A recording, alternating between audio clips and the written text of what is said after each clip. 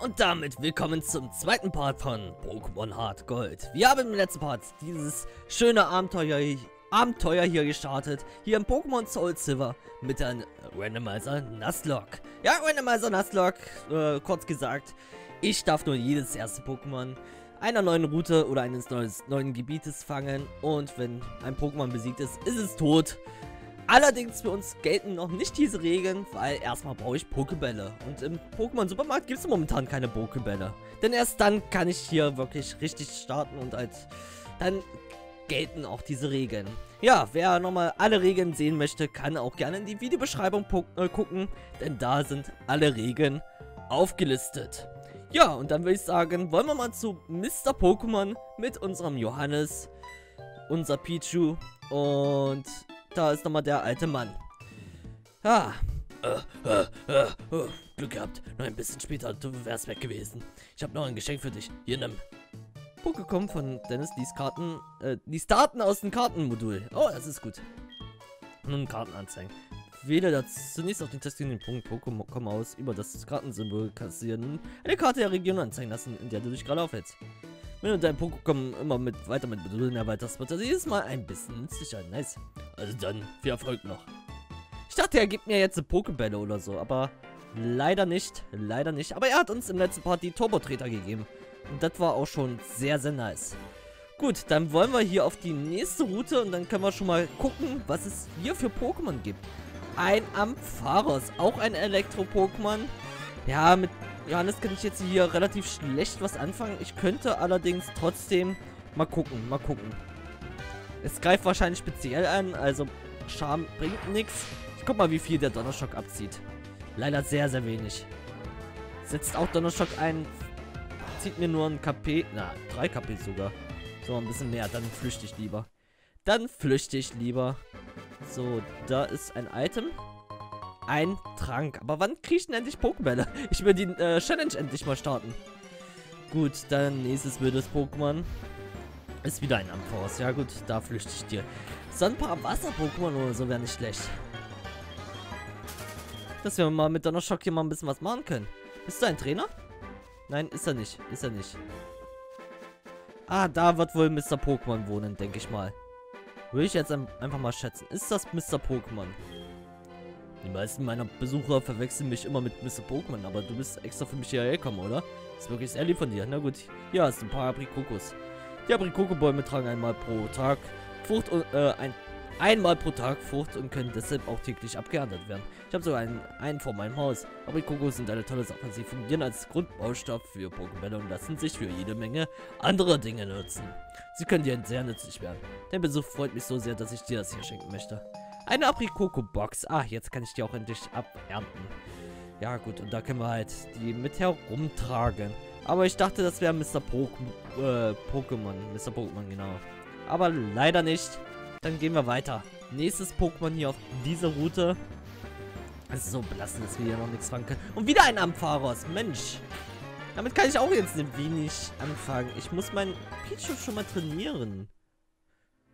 Ich glaube, der Start wird hier in diesem Let's Play richtig, richtig schwierig.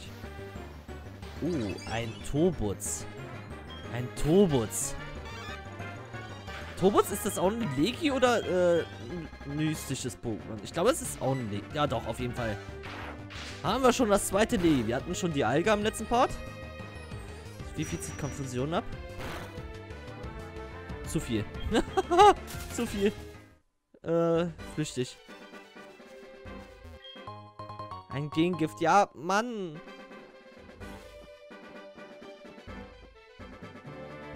Was ist denn da hinten los? Bist du ein Trainer? Ein Glück nicht. Sonst wäre ich jetzt am... Äh, wäre ich jetzt äh, arm dran gewesen. Was ist hier los? Ach, die kämpfen. Na toll. Ja, und deshalb kann man da nicht vorbei. Kann man nicht woanders kämpfen? Das Haus von Mr. Pokémon. Immer geradeaus. Sehr, sehr schön. Immer geradeaus. Dann gehen wir mal geradeaus. Wieder ein Ampharos. Warum kommen nur undankbare Pokémon hier dran? Hätten wir schon mal ein zweites Pokémon, könnten wir, zum Beispiel irgendein Boden-Pokémon, könnten wir das ganz gut hier trainieren, aber mit Johannes alleine wird das hier nichts. Gut, dann sind wir jetzt bei Mr. Pokémon endlich angekommen. Da ist er. Hallo da? Du musst Dennis sein? Ich bin derjenige, der Professor Lind vorhin diese E-Mail geschickt hat.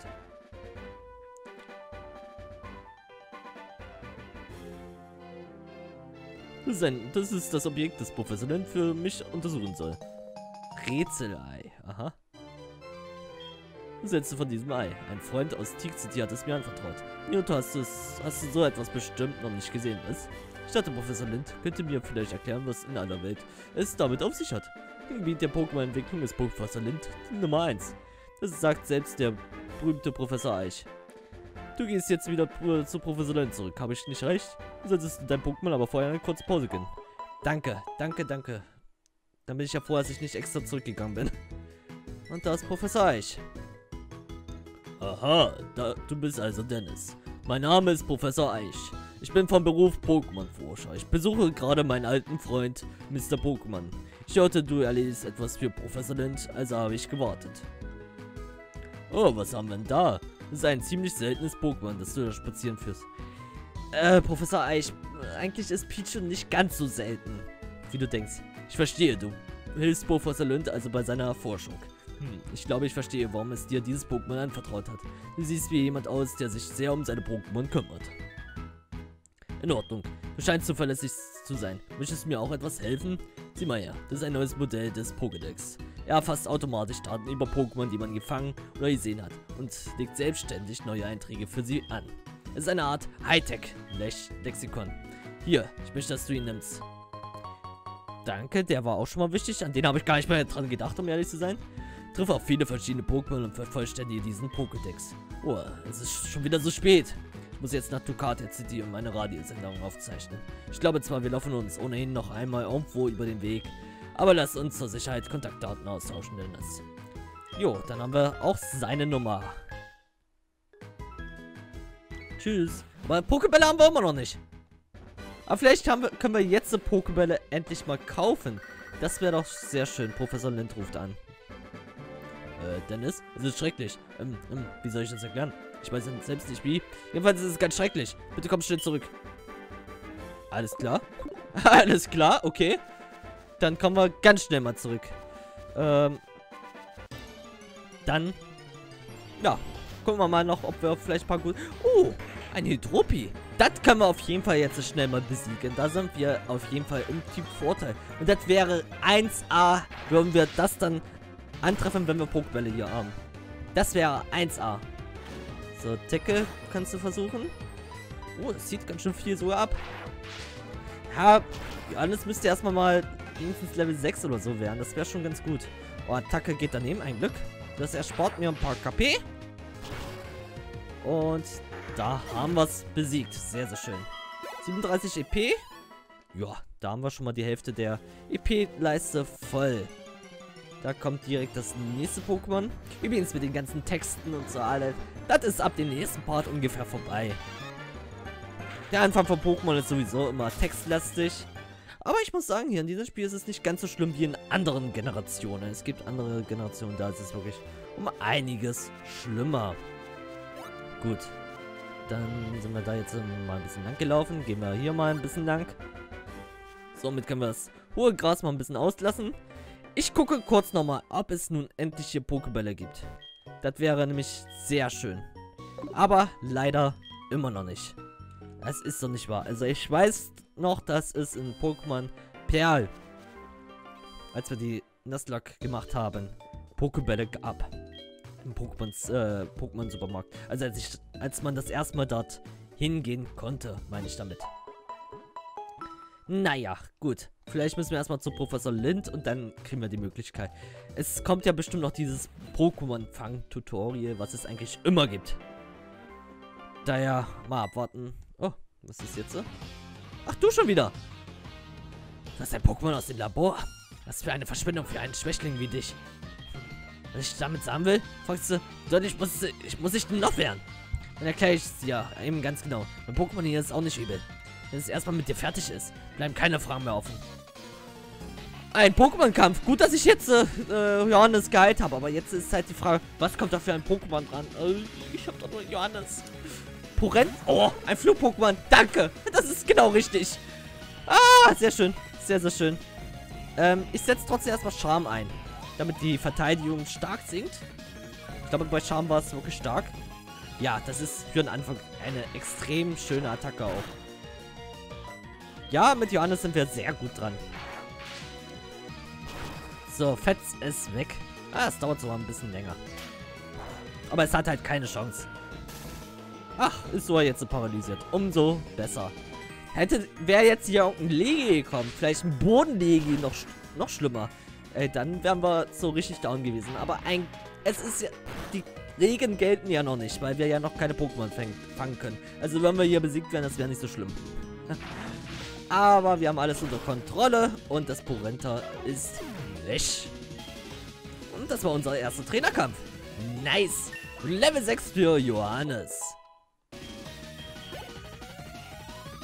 Ja, das sind einige EP. Sehr, sehr schön. Willst du wissen, wer ich bin? Ich werde es dir sagen. Ich bin Daniel, den die Leute schon bald den größten Pokémon-Trainer aller Zeiten nennen werden. Okay. Gib mir das. Das ist der Trainerpost, den ich verloren habe. Er gehört mir. Jetzt hast du meinen Namen gesehen, oder?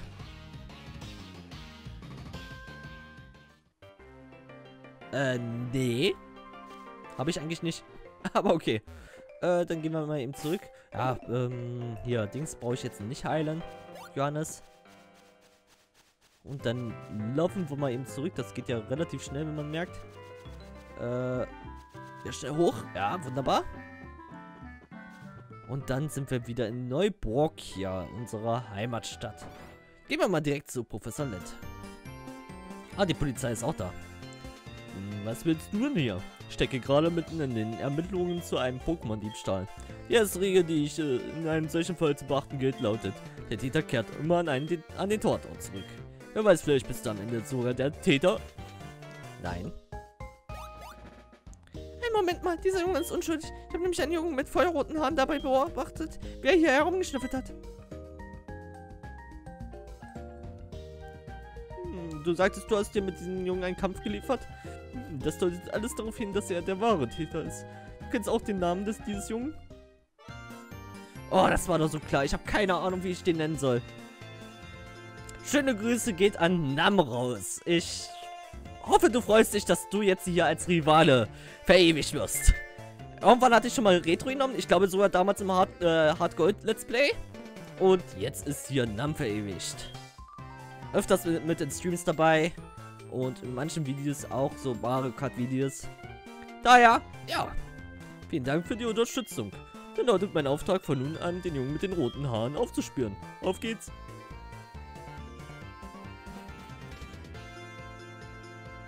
Puh, ein Glück, dass wir den Verdacht von dir abwenden konnten. Nicht wahr, Dennis?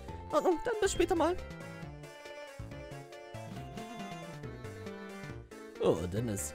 Hier war ganz schön was los, sag ich dir. Aber warum erzählst du nicht, was es mit po Mr. Pokémons großen Fund auf sich hatte? So, wir übergeben ihm das Rätselei. Gut, dann wollen wir mal sehen. Das sieht mir ganz nach einem Ei aus. Er hat natürlich recht, diese Art Ei sehe ich gerade auch zum ersten Mal. Aber außer Mr. Pokémon gibt es heutzutage niemanden mehr, den ein neues Ei noch aus den Socken so haut. Es gibt immer dieselbe Leier mit ihm. Aber jetzt, wo wir das Ei schon mal hier haben, wollen wir doch mal sehen, welche Geheimnisse es birgt.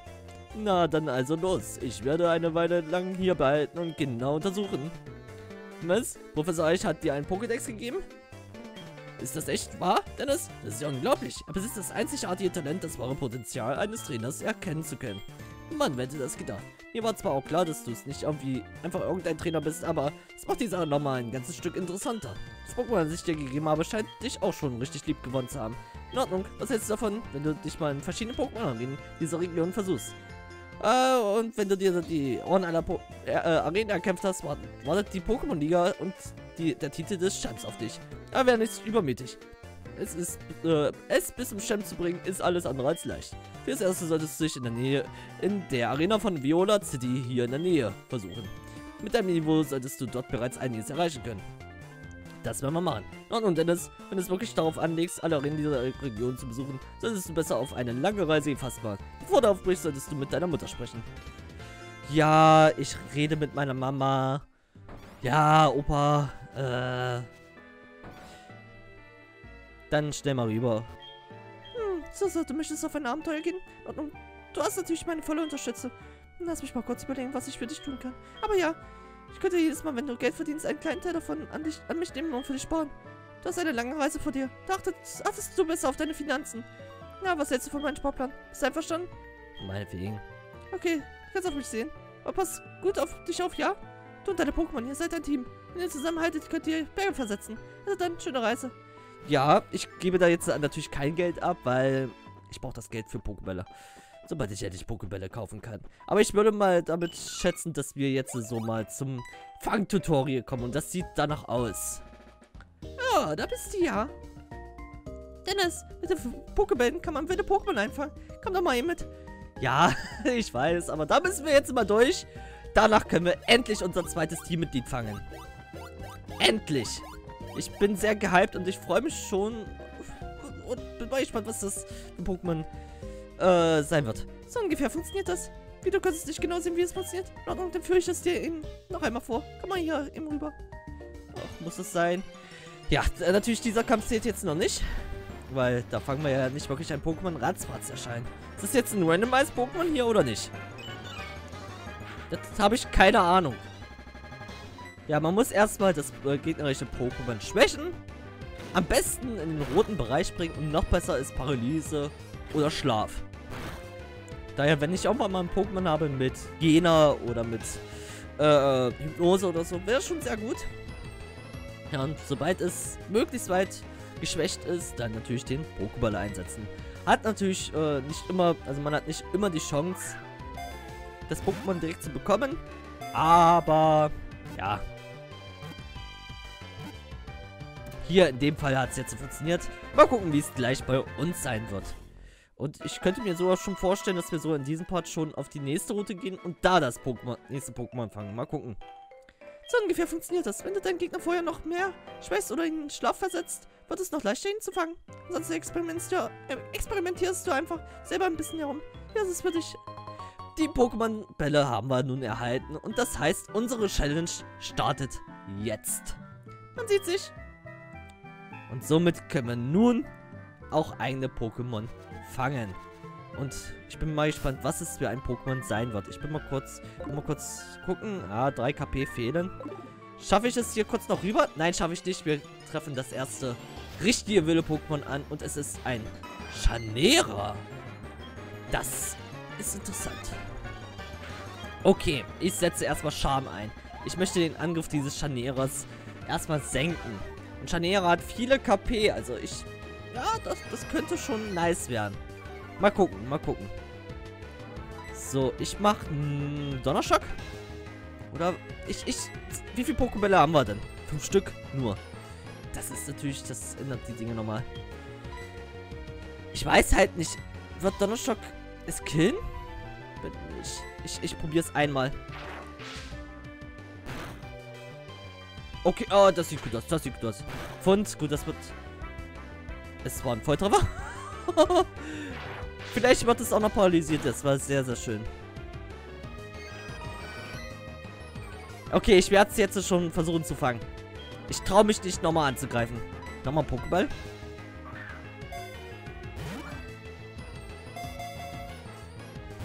Uh, nicht einmal gewackelt. Okay, ich setze nochmal Donnerschock ein. Es sollte über... Oh, ich weiß nicht, ich weiß nicht.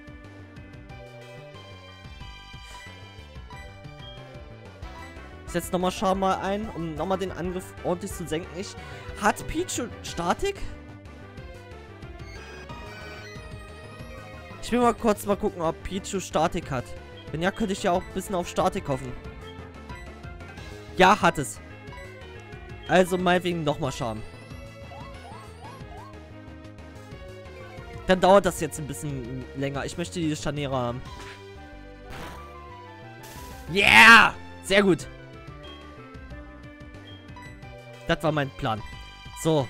Zweiter Pokéball. Komm, komm, komm!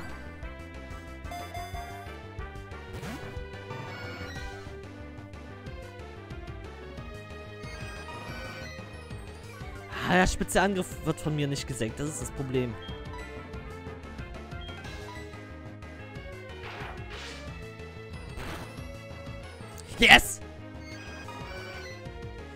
Jetzt werde ich meine Pokebälle auf, aufbrauchen. Komm! Es ist im roten Bereich und paralysiert.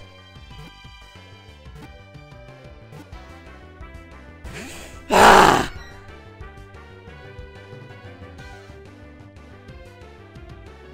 Mein Angriff kann nicht weiter gesenkt werden. Nur zwei Pokebälle. Ist das euer Ernst?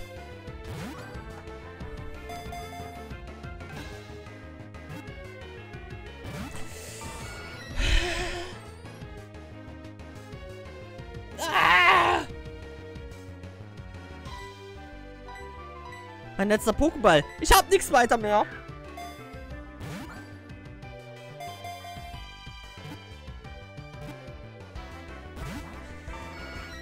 Es ist... Ja, hoffnungslos. Ich habe keinen Pokéball mehr. Mist. Ah! oh Mann.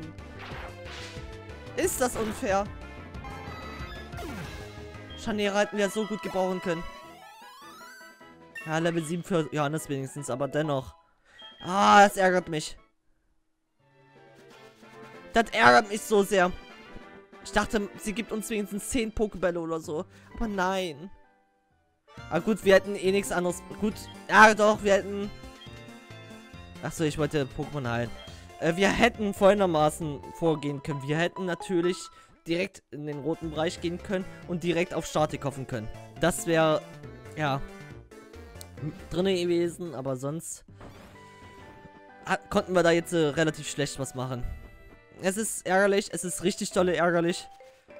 Aber ist halt so, ist halt so. Ja, ja. Hau ab, hau ab.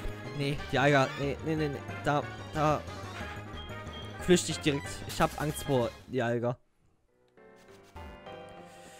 So, dann wollen wir jetzt erstmal wieder weitergehen. Wo muss ich denn lang eigentlich? Schon mal nicht hier.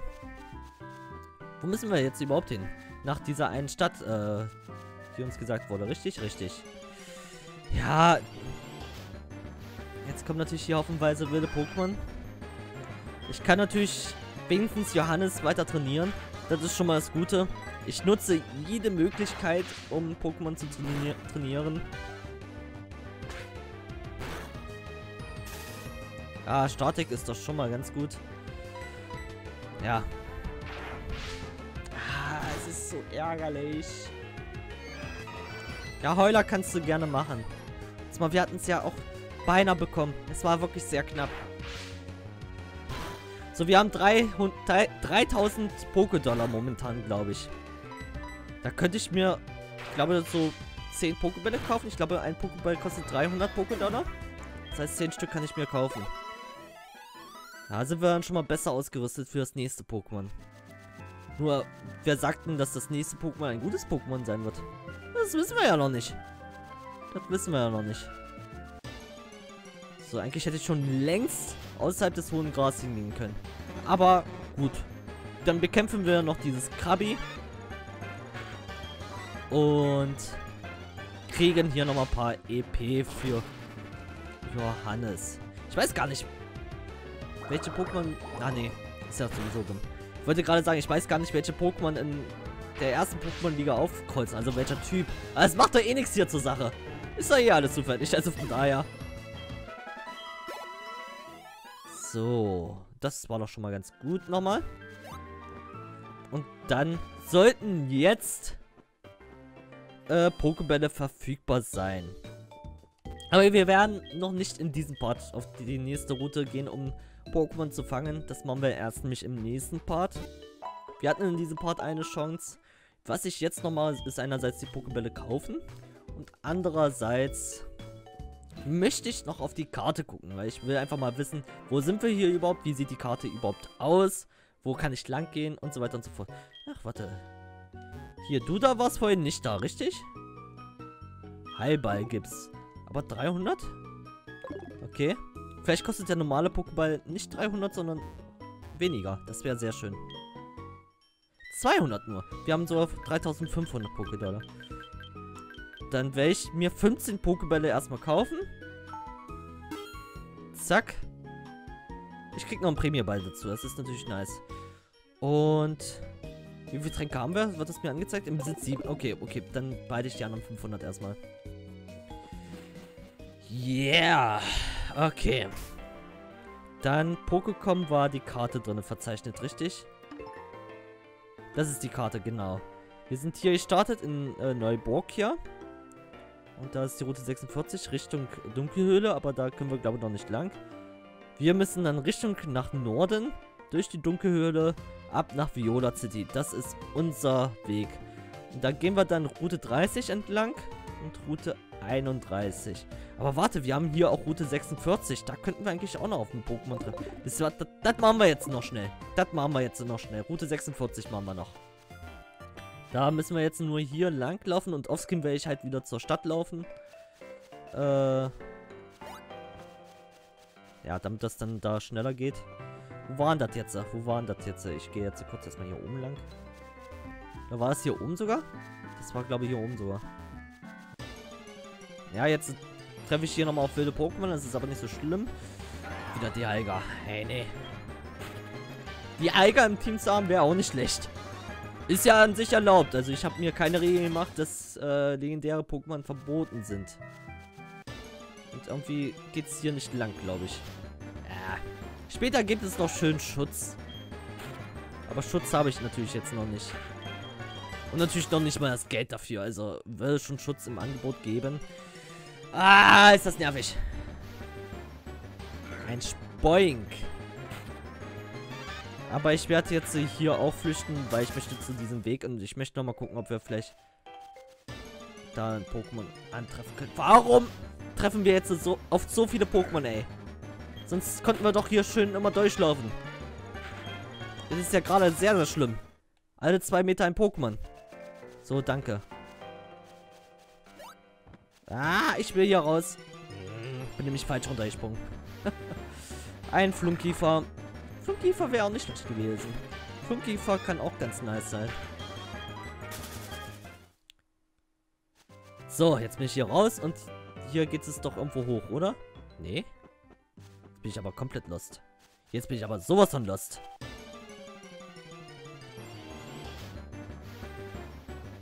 Ein Schillast. Boah, das wäre das wär's gewesen. Das wär's gewesen, hätten wir ein Schillast bekommen. Boah, das hätte ich so richtig abgefeiert.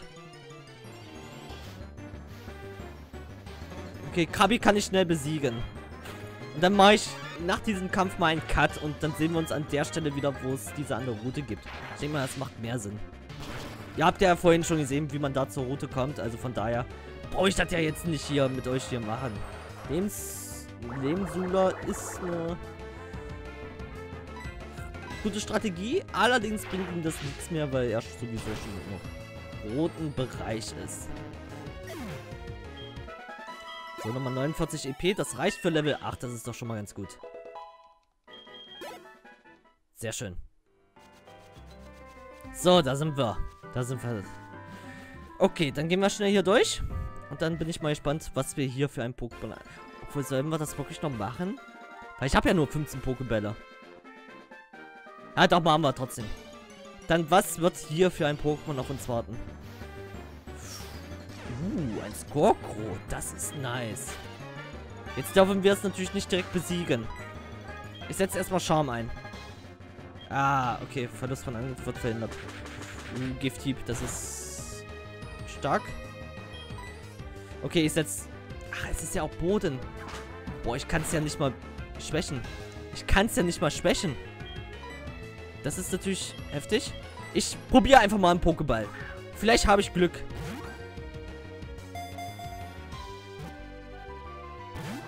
Ich probiere vier Pokebälle. Und danach flüchte ich. Ist natürlich belastend, dass ich jetzt hier es nicht schwächen kann. Weil Elektroattacken nichts wirken. Ich dachte, es wäre Gestein, Flug oder so. Dachte ich zuerst. Ah, Mann. Es freut mich hier. Es ist paralysiert. Das ist gut, das ist gut. Danke, Statik. Danke, danke, danke. Vielleicht willst du den Premierball haben.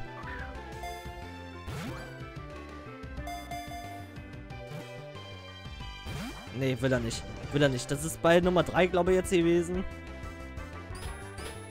Jetzt setzt der Härtner ein. Das ist. Das, das, kann, kannst du ruhig machen. Oh, Skoko wäre aber schon ganz nice.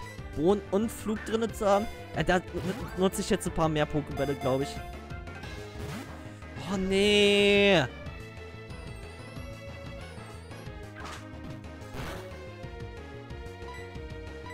Das ist doch nicht wahr.